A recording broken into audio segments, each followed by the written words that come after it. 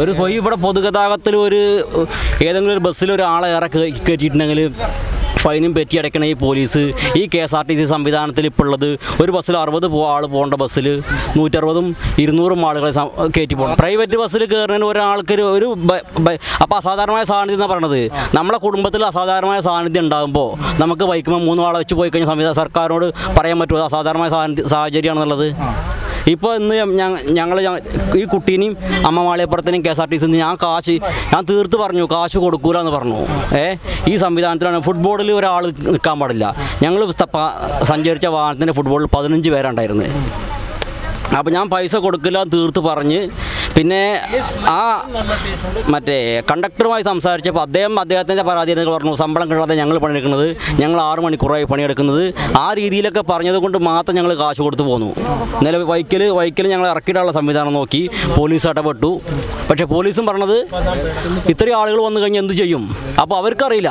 ഞങ്ങളുടെ ഭക്തരോടെ ചോദിക്കുന്നത് പോലീസ് ചോദിക്കുന്നത് ഇത്രയും ആളുകൾ വന്ന് എന്ത് ചെയ്യുന്നുള്ളത് അപ്പോൾ അതിന് ഉത്തരം കണ്ടെത്തില്ലെങ്കിൽ അതിനുള്ള പ്രതിവിധി സർക്കാർ തേടണം. അല്ലെങ്കിൽ അവിടെ ദർശനം നിർത്തിവെക്കണം. ഈ നില നിലക്കൽ നിലക്കൽ നിന്ന് പമ്പയിലേക്കുള്ള ദൂരത്ത് K S R T C മാത്രമാണ് സർവീസ് നടത്തുന്നത്. K S R T C മാത്രം സർവീസ് നടത്തുന്നത്. സർക്കാരിന് സർക്കാരിനെ കൊണ്ട് ഇത് മറ്റേ ഈ സാഹചര്യം മറികടക്കാൻ പറ്റില്ലെങ്കിൽ സർക്കാർ പ്രൈവറ്റ് ഏജൻസി കൊടുക്കട്ടെ. അതിനുള്ള സംവിധാനം ഇവിടെ ഉണ്ടല്ലോ. ഇവിടുത്തെ പ്രൈവറ്റ് ബസ് മേഖല ഏറ്റെടുക്കാൻ തയ്യാറാണ്.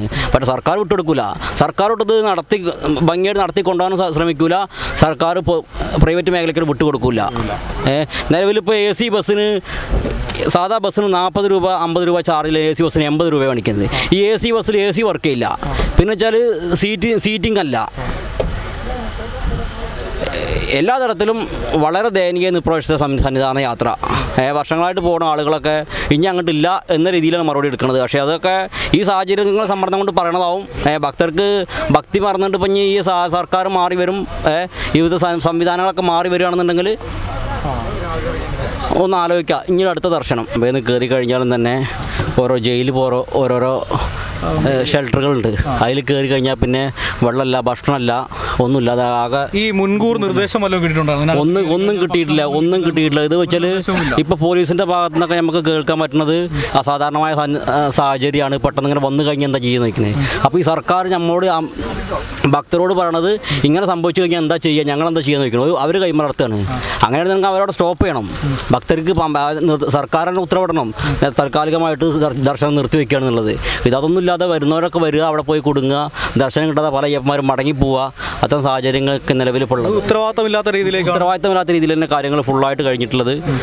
പത്തും പതിനഞ്ചും ഇരുപതും വർഷന്മാർ പോയ സ്വാമിമാർ ഇപ്രാവശ്യം പോയിട്ട് പറയുന്നത് ഞങ്ങൾ ഇനി സന്നിധാനത്തേക്ക് ഇനി പോകണില്ല അപ്പോൾ അവർ എത്രത്തോളം ഈ ഭക്തിയിൽ നിന്ന് പിന്നോട്ട് പോകണമെന്നുണ്ടെങ്കിൽ എത്രത്തോളം അനുഭവിച്ചിട്ടുണ്ടാവും? ഈ മുതിർന്ന നാൽപ്പതും അമ്പതും വയസ്സുള്ള എല്ലാ ആരോഗ്യങ്ങളും കൂടിയുള്ള ഒരാൾക്ക് എത്ര ദുർഘടമാകുമ്പോൾ കുട്ടികൾക്ക് എത്രയാവും എന്നുള്ള ഈ ചോദ്യത്തിന് പ്രസക്തി ഇല്ല അവിടെ. അമ്മമാർക്കാണെന്നുണ്ടെങ്കിൽ കുട്ടികൾക്കാണെന്നുണ്ടെങ്കിൽ ചോദ്യത്തിന് പ്രസക്തി ഇല്ല. കാരണം ഇത്രയും വലിയ ആളുകൾക്ക് മുതിർന്ന ആളുകൾക്ക് ഒരു തരത്തിലും സഹിക്കാൻ പറ്റുന്നില്ല. ഏ? യാത്ര. അവന് കുട്ടികളെ കാര്യം പറയണോ? വെള്ളമല്ല ഭക്ഷണമല്ല. അവർക്ക് അവരുടെ അവരുടേതായ ഒരുപാട് കാര്യങ്ങളുണ്ടാവും ഏഹ് ഇഷ്ടങ്ങളുണ്ടാവും അനിഷ്ടങ്ങളുണ്ടാവും അതിനൊന്നും അവിടെ പ്രസക്തി ഇല്ല